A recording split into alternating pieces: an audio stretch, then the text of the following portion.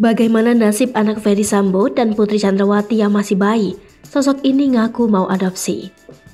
Ferry Sambo dan istrinya Putri Chandrawati kini sudah ditetapkan sebagai tersangka kasus pembunuhan Brigadir J.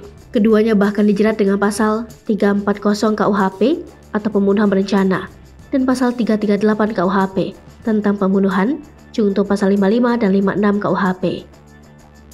Ferdi Sambo dan Putri Chandrawati terancam hukuman mati atau pidana seumur hidup atau maksimal 20 tahun kurungan. Lalu bagaimana dengan nasib anak Ferdi Sambo dan Putri Chandrawati? Sekedar informasi, Ferdi Sambo dan Putri Chandrawati memiliki empat orang anak, berusia 21 tahun, 17 tahun, 15 tahun, dan 1,5 tahun.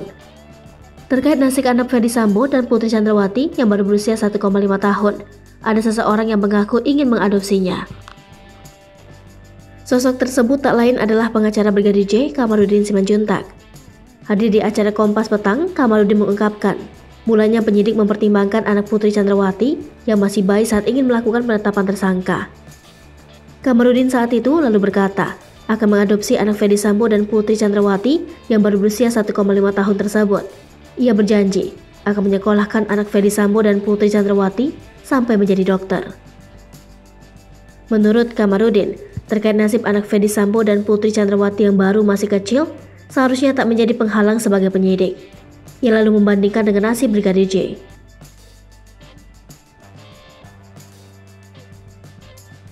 Hai pemirsa Sri Popo TV, jangan lupa komen, like, dan subscribe, serta tonton terus berita-berita terupdate lainnya ya.